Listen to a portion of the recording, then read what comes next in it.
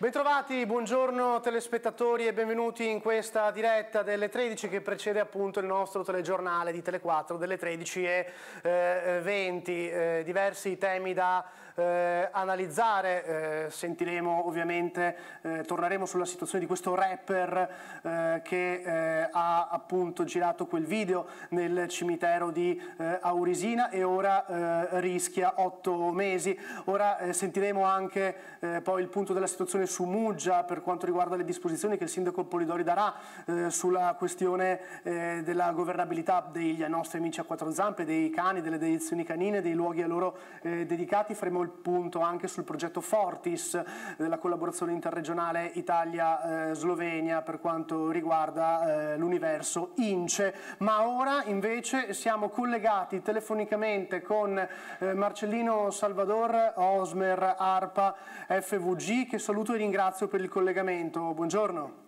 Buongiorno a voi, ben, ben, trovati. Allora, siccità e maltempo, il punto della situazione, fra poco scorrerà nelle grafiche anche il nostro titolo. Eh, dottor Salvador, stiamo vivendo un'estate eh, che a tanti ricorda quella ormai lontana del 2003, dove ci fu no, il picco di eh, caldo che durò eh, davvero moltissimi, moltissimi mesi. E, e poi, eh, per esempio, a Trieste stamattina presto ha piovuto, adesso l'aria si è un po' rinfrescata, però insomma, cosa ci dobbiamo aspettare in questo questo periodo. Voi che fenomeni state eh, analizzando? Cosa sta succedendo nella nostra regione ma in realtà in tutta Italia?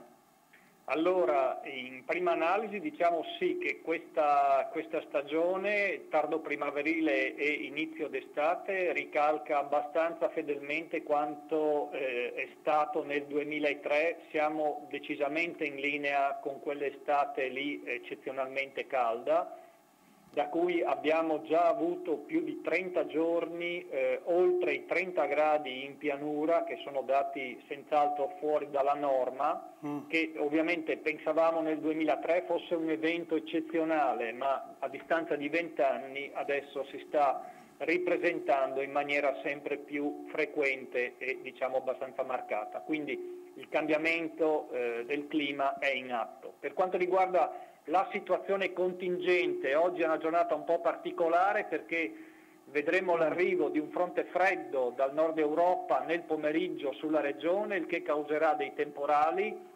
abbastanza diffusi e eh, probabilmente anche nel tardo pomeriggio eh, dei venti forti eh, che arriveranno appunto dal, da Oltralpe che potrebbero avere anche eh, raffiche anche di 100 all'ora sulle zone di costa, quindi attenzione nel pomeriggio a chi eh, ovviamente sta all'aperto o in, al mare, diciamo, è una situazione dopo le 4 da tenere sott'occhio.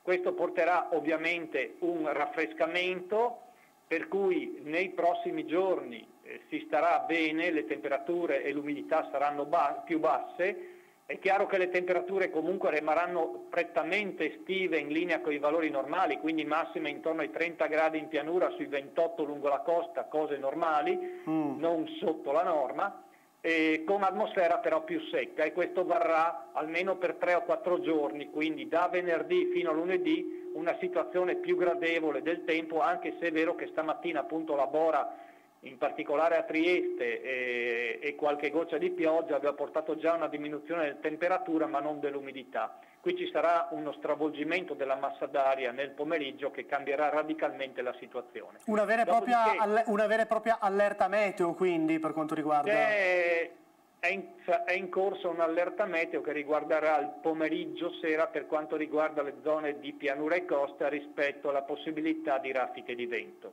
emanato dalla protezione civile regionale. Per quanto riguarda invece poi il proseguo della prossima settimana, ci sarà un ritorno dell'anticiclone probabilmente del Nord Africa gradualmente, andremo su con le temperature per portarci di nuovo grosso modo intorno a metà mese, intorno al 15, a valori di nuovo importanti sopra la norma e quindi di avvicinarsi di nuovo ai 35-36 gradi e forse anche di più più avanti, anche se è presto per queste, mm. trarre queste conclusioni, però è probabile che si ripresenti un caldo importante appunto da metà mese, dopo però questa tregua importante di 4-5 giorni che comincerà praticamente da oggi. Vede, eh, dottor Salvador, vede delle similitudini particolari? Io prima ho citato l'estate del 2003, ma insomma lei eh, vede similitudini particolari, una tendenza eh, di questo gran caldo che continuerà eh, anche nei prossimi anni? Eh, dobbiamo abituarci a queste estati così eh, afose, con aria pesante? Si può prevedere? Allora, eh, diciamo, esola in parte dai miei compiti che sono quelli di previsore meteo e quindi di stare sul contingente o comunque su previsioni a breve termine, queste sono previsioni climatologiche di cui però in parte l'ARPA FVG eh, si occupa. Possiamo dire che comunque il trend è assodato ed è quello di un incremento delle temperature che eh, si avrà comunque negli anni e quindi la tendenza è al riscaldamento. D'altronde mm. vediamo che di anno in anno la probabilità di avere ondate di caldo lunghe, durature importanti aumenta e lo constatiamo anche nei dati. Una volta arrivare a 30 gradi era piuttosto difficile, avevamo poche giornate oltre i 30 gradi prima del primo luglio, adesso sta diventando la consuetudine, tanto per dire a giugno in pianura abbiamo avuto 25 giorni oltre i 30 gradi, quindi mm. questo la dice lunga della situazione che si sta ripresentando con una frequenza sempre più eh, elevata rispetto al passato. Ovviamente le, i consigli eh, che, che, danno soprattutto i medici chiaramente sono sempre gli stessi, non bisogna uscire nelle ore eh, calde. Ci sono stati purtroppo frequenti episodi in tutta Italia di gente che si è eh, improvvisamente eh, sentita male proprio per eh, il caldo. È effettivamente anche da questo punto di vista una situazione eh, anomala? Beh, Ovviamente quando il caldo supera i 35 gradi eh, non serve aggiungere altro, è un caldo intenso. Questa situazione però adesso non si verificherà nel, nel contingente, lo, lo, vivremo di nuovo probabilmente da metà mese, quando arriverà probabilmente un'altra ondata di, di caldo importante, come, giornate come le abbiamo vissute nei giorni scorsi con valori che sono arrivati intorno ai 37 gradi. Questa è una cosa probabile. Da dire invece rispetto alle piogge che salvo i temporali di oggi pomeriggio, sera, probabilmente i prossimi dieci giorni è molto probabile che non vedranno piogge significative, quindi che la siccità eh, sostanzialmente perduri. E questo cosa eh, comporta dal punto di vista anche appunto del, della tenuta proprio fisica del nostro eh, territorio? Quando non piove per eh, troppo tempo eh, tutti ne, eh, ne, risentiamo. Si ricorda anche nel, nell'ambito del suo lavoro di eh, casi simili negli anni? L'estate del 2003 è stata simile, decisamente molto calda e con scarsa pioggia, per cui c'era come adesso vediamo eh, l'erba già secca ai primi di luglio, cosa abbastanza per, mh, mm, anomala per il Friuli Venezia Giulia che invece di solito è la regione più piovosa nei mesi estivi in Italia, eh, ma anche noi pur avendo avuto diversi temporali, come anche li avremo oggi, ma li abbiamo avuti anche i giorni scorsi e in montagna ricordiamo che i quantitativi di pioggia sono stati anche decisamente elevati in certe zone, eh, specie delle prealticarniche, dove si è arrivati anche a 300 mm, valori che non sono paragonabili agli altri d'Italia. Nonostante ciò, anche noi in certe fasi, in certi momenti, specialmente su bassa pianura, sulla bassa pianura soffriamo ovviamente della siccità, questo è un fatto che eh, constatiamo anche noi perché tutto sommato l'anticiclone nordafricano si ripresenta sempre più frequentemente anche verso di noi eh, con le conseguenti temperature elevate e anche ovviamente l'inibizione della possibilità di temporali che quando ci sono comunque sono abbastanza estemporanei e non eh, con bei fronti diffusi come succedeva anni fa che pioveva magari per tre ore un pomeriggio con i classici fronti freddi che adesso vengono invece sostituiti da elementi molto più impulsivi, magari anche più forti ma molto più impulsivi. Ecco infatti le rubo giusto ancora un paio di minuti, poi la lascio, so che è pieno di, eh, di lavoro dottor Salvador. Eh, come, come in genere noi ci aspettiamo i classici temporali estivi con anche grandinate, no? quindi temporali eh, di una certa intensità. In Veneto recentemente in questi giorni eh, sono eh, cadute, eh, è caduta grandine, chicchi di grandine grossa come noci. Ecco, è una situazione eh, più o meno standard nei temporali estivi che sia effettivamente così? Potremmo aspettarci anche noi fenomeni eh, magari brevi nel tempo ma più violenti da questo punto di vista? Beh, li abbiamo già avuti eh, sostanzialmente l'altro ieri con eh, gran parte della pianura udinese interessata da temporali piuttosto forti, a nord di Udine e anche a sud di Udine, nella zona di Palmanova, con piogge dell'ordine dei 50-60 mm all'ora e anche grandine, quindi non è una novità e l'abbiamo appena vissuta, come c'era, c'era ovviamente anche nel passato. È chiaro che temperature elevate, oltre i 30 gradi, eh, con dei piccoli disturbi atmosferici che fanno eh, innescare i temporali, provocano poi eh, questi temporali estivi che sono molto improvvisi, eh, forti, è nella natura del temporale di essere forte e ovviamente anche poi portare alle grandinate che è un elemento abbastanza tipico anche questo del nostro territorio in estate. Eh, mm. Queste cose però a, appunto diventano sempre più impulsive e anche sempre meno legate a fronti ben decisi e marcati ed è anche difficile prevederlo. Eh, mi informano qui in diretta che eh, sono stati allertati gli stabilimenti balneari della costa proprio per questo pomeriggio, anche insomma in merito a quello che dicevamo, che dicevamo noi, i sindaci della, delle zone sono, eh, sono allertati. Eh, beh, se c'è un'allerta anche per quanto riguarda i bagnanti e la balneazione, effettivamente dovremmo eh, aspettarci un buon impatto da questo pomeriggio, ma mi sto riferendo in questo caso alla costa. Sì, ehm, c'è un'allerta emanata dalla protezione civile rispetto alla possibilità di raffiche di vento forte su eh, pianura e costa per questo pomeriggio che ricalca appunto quanto eh, avete già detto e quindi c'è un'attenzione un rispetto a questa situazione ovviamente in particolare sulle zone balneari dove c'è tanta gente ovviamente. Ok, grazie dottor Salvador, Marcellino Salvador, Osmer, ARPA, FVG, grazie per il tempo concesso e un buon lavoro.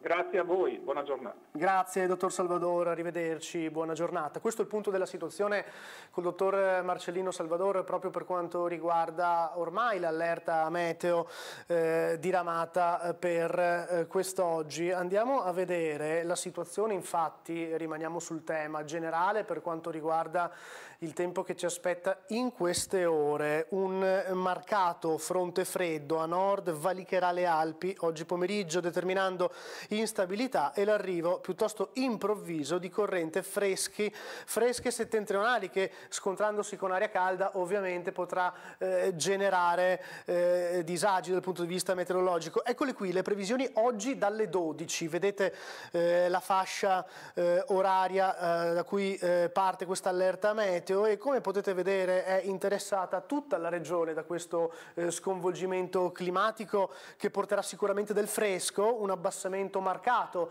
eh, delle temperature, però nonostante, nonostante questo eh, il caldo tornerà eh, eh, a ehm, come dire, abbracciarci molto presto. Il punto è evitare i danni e quindi eh, tutti quei fenomeni che con il vento forte e la pioggia e e chissà eh, anche la grandine magari possono, eh, possono, fare. Quindi oggi dalle 12 aggiornamento del pomeriggio probabili rovescio temporali, prima in montagna poi anche sulle altre zone, nel tardo pomeriggio probabile vento forte da nord sia su pianura che costa. Eh, le temperature minime in questo momento sono registrate tra i 19 e i 22 gradi e le massime tra i 26 e i 31 gradi per quanto riguarda la costa, leggermente più alte le massime invece per quanto riguarda la, eh, la pianura, ma questi dati potrebbero essere eh, destinati a eh, mutare proprio nelle prossime ore, cioè abbassarsi ulteriormente. Vediamo già invece il tempo per domani, eh, la situazione di un bel tempo con cielo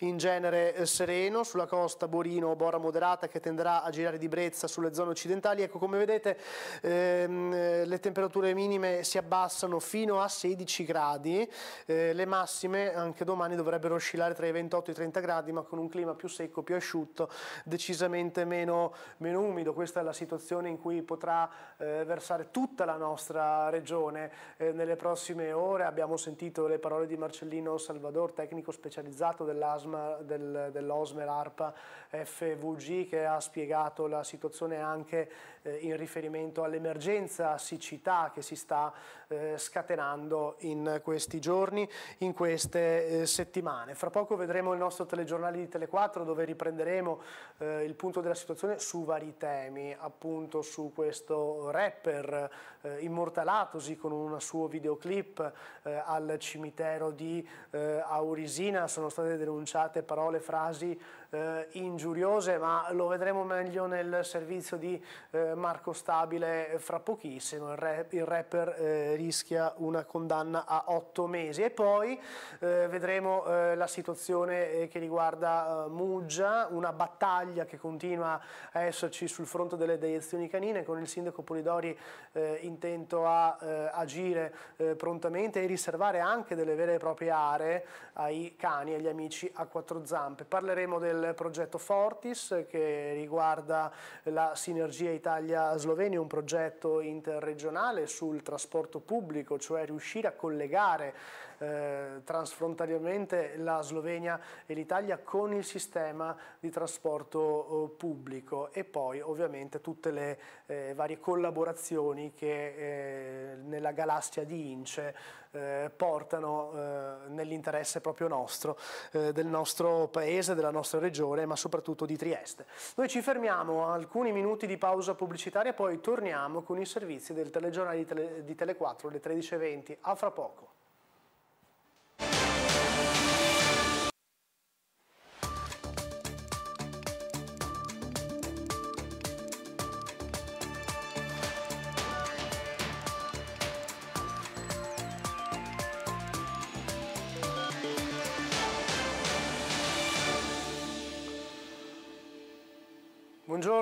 Pomeriggio, bentrovati telespettatori al telegiornale di Tele4. Stamattina nella sala Tessitori di Piazza Oberdan si è tenuta la conferenza finale del progetto Fortis nell'ambito della collaborazione interregionale Italia-Slovenia. I temi principali, lo sviluppo del trasporto pubblico tra Italia e Slovenia e la collaborazione tra i due paesi in materia di motorizzazione civile, il servizio.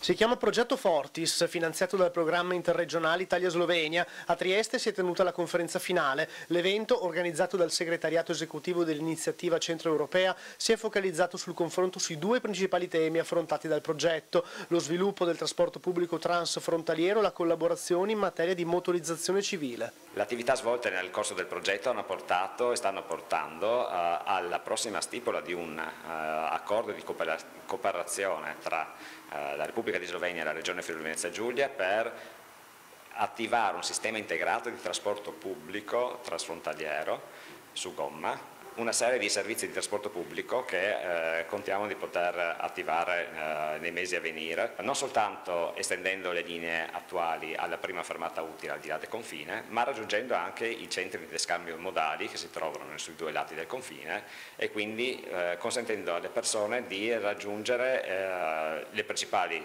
località e da qui poi spostarsi utilizzando ulteriori e nuovi eh, servizi di trasporto pubblico. Sul versante invece della motorizzazione civile il progetto Fortis è un po' un unicum, ci si è concentrati su un'azione pilota relativa al controllo dei mezzi pesanti confini, sui confini eh, che ha portato a condividere eh, procedure, modalità e eh, problematiche eh, che eh, le, i vari enti coinvolti in questa tipologia di controlli sono quotidianamente eh, interessati eh, ad affrontare e che grazie al progetto Fortis eh, troveranno mh, mm, una forma stabile di collaborazione, di confronto che porterà auspicabilmente a semplificare anche le procedure in materia di motorizzazione civile nei rispettivi due paesi. Questo nel dettaglio il progetto Fortis dalla conferenza finale avvenuta appunto in sala Tessitori eh, quest'oggi in piazza Oberdan a Trieste.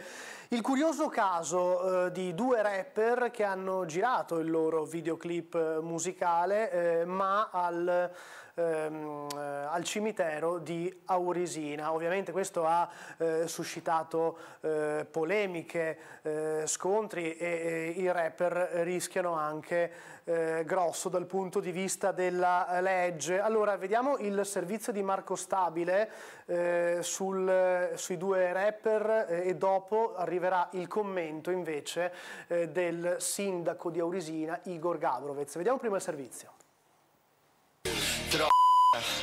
drogę.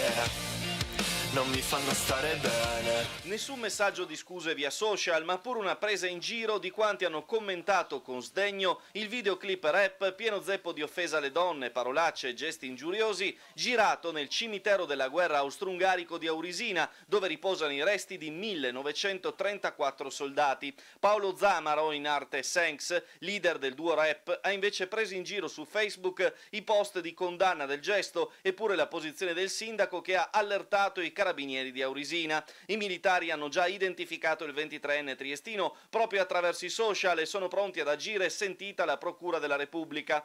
Zamaro e il suo socio in arte rischiano la stessa pena a cui è stato condannato il rapper udinese Justin Obusu, che ballò, anche qui in un videoclip, sui gradoni del sacrario di Re di Puglia. L'ipotesi di reato corrisponde all'articolo 408 del codice penale, vilipendio alla memoria dei defunti. Tra l'altro, ma questa è una notazione che potrebbero fare tutti, se il monumento isontino potrebbe magari essere confuso con altro, ovviamente da personaggi con poca vista e scarsa conoscenza storica, è praticamente impossibile dirlo per il cimitero sul Carso, dove anche un bimbo noterebbe le file di lapidi a forma di croce. Il rapper friulano, insieme al collega Maria Antonio Piras di Latisana, fu condannato a otto mesi di carcere con la condizionale, a patto però di pagare 25.000 euro di danni morali. La sospensione condizionale della pena fu condizionata destinata proprio a risarcimento della parte civile. Resta da capire però nel caso di Aurisina se le frasi e le parole ingiuriose inserite nel testo possano costituire un ulteriore aggravante di pena in sede processuale. E allora sentiamo la reazione del sindaco di Duino Aurisina, Igor Gabrovez, che al microfono di Marco Stabile ha commentato proprio eh, questa situazione. Vediamo. Abbiamo avuto tutto il pomeriggio solleciti di ogni tipo, telefonici, via messaggio, attraverso Facebook, a intervenire. È chiaro che eh, come amministrazione comunale, come sindaco, mi sono mosso immediatamente, ho contattato la caserma dei carabinieri, i miei eh, carabinieri di fiducia e di riferimento. Eh, ho sentito anche un legale, eh, come amministrazione intendiamo eh, fare tutti i passi necessari affinché eh, ci sia la giusta punizione per eh, questi ragazzini che eh, io spero non si rendano conto di che cosa hanno fatto. È un oltraggio a un luogo sacro perché è un cimitero, ma anche un oltraggio alla memoria di quanti hanno sofferto, sono caduti in una guerra che ha devastato l'Europa. Quindi eh, ci sono eh, delle cose che si possono fare e altre che sono imperdonabili. Queste, questa è una di quelle. Eh, io mi attendo che questi ragazzi prendano coscienza di quello che hanno fatto. Io vorrei vederli eh, in quel cimitero a chiedere scusa, a, a far manutenzione, a dimostrare eh, in prima persona che eh, si stanno pentendo, si sono pentiti del fatto. Eh, nel frattempo noi faremo tutti, tutti, i passi necessari, io credo che ci siano tutti gli elementi per eh, procedere eh, dal punto di vista penale ma anche eh, civile, perché un fatto come questo ha sicuramente leso anche l'immagine dei nostri luoghi. Questo è il commento del sindaco di Aurisine Igor Gabrovez. Allora siamo collegati con la sala operativa della Polizia Locale, l'ispettore Gurtener con noi al telefono. Ispettore, buongiorno. Buongiorno a lei a tutti. Allora, come avete ben eh, rimarcato nella precedente trasmissione, voglio far presente che dalle ore 15 fino a questa sera è nato un allarme meteo per eh, probabili temporali e vento forte, quindi eh, l'invito a tutti è quello di chi è a casa ovviamente di porre in atto tutti quegli accorgimenti per far sì che non ci siano pericoli, quindi chiudere finestre, assicurare eventualmente piante, collocarle all'interno delle abitazioni in maniera tale che non ci siano appunto problematiche legate al vento e evitare eventualmente di trovarsi in situazioni appunto di potenziale pericolo in, vicino a arbusti, alberi e via dicendo. Eh, oggi è stata riaperta la via Navali, sì. quindi anche la linea 15 e la 16 hanno ripreso le, le, il consueto tragitto, c'è un senso unico alternato regolato da semaforo come precedentemente era accaduto nei mesi scorsi.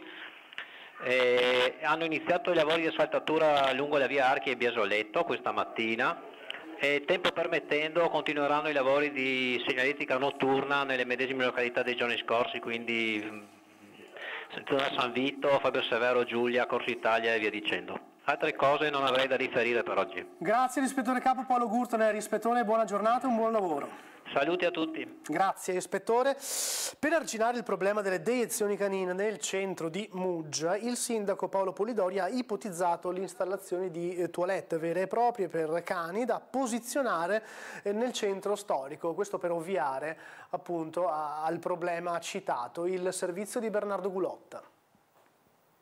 Bottiglietta d'acqua per pulire la pipì dei cani, scelta giusta o poco opportuna, la soluzione a Muggia potrebbe non essere né l'una né l'altra, bensì l'installazione in centro di toilette per cani. L'idea emerge direttamente dal sindaco Paolo Polidori che stamane a Sveglia Trieste, nel commentare le scelte di regolamento che contraddistinguono i diversi municipi, ha ipotizzato degli angoli dedicati ai cani in modo da contenere la diffusione delle chiazze d'urina nel resto della cittadina. Stiamo studiando un sistema per mettere delle toilette proprio per cani. Ah eh, dobbiamo vedere delle, appunto cioè, delle... In centro a Muggia? In centro a Muggia. Oh. Dobbiamo vedere delle, delle, aziende che sono specializzate in questo. Lo si utilizza soprattutto in eh, città fuori dall'Italia, all'estero, perché in Italia non mi risulta di aver visto, di aver notizia che ci siano questi, questi sistemi, ma se funzionano penso che sarà, sarebbe opportuno prenderli seriamente in considerazione. Il padrone del cane deve fare il padrone, minimamente almeno deve educare il cane a non farlo passare attraverso tutti gli angoli e fermarsi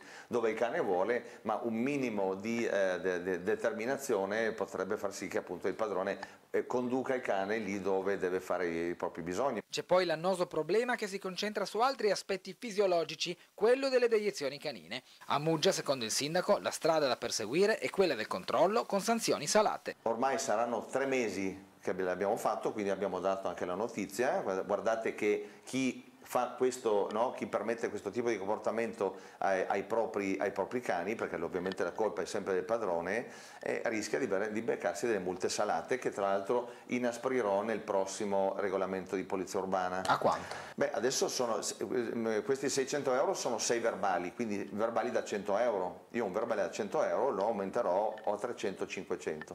Per cui... Cioè da 100 a 500? Sì.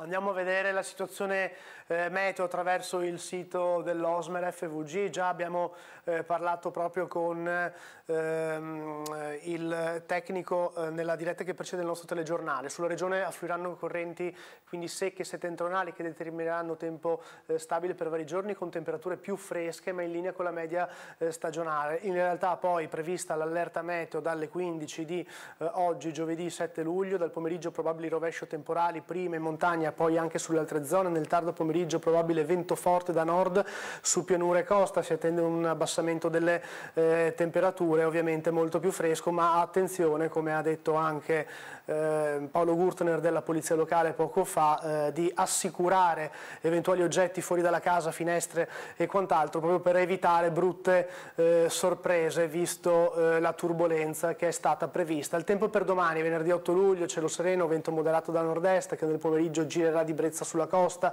sui monti qualche nuvola nel pomeriggio, atmosfera più secca rispetto ai giorni precedenti, logicamente cala quindi l'umidità con le temperature minime che si abbassano fino ai 16 gradi. Il tempo anche per sabato 9 luglio, dopodomani cielo sereno con venti di brezza, temperature in leggero calo, ma in linea con la media stagionale dal pomeriggio, cielo variabile sui monti con le temperature eh, minime che possono raggiungere i 20 gradi le massime eh, fino a 28, quindi un abbassamento eh, sensibile delle temperature di fatto. È tutto dal telegiornale di Tele4 di questo pomeriggio, grazie per averci seguito, prossimo appuntamento con le notizie alle 19.30.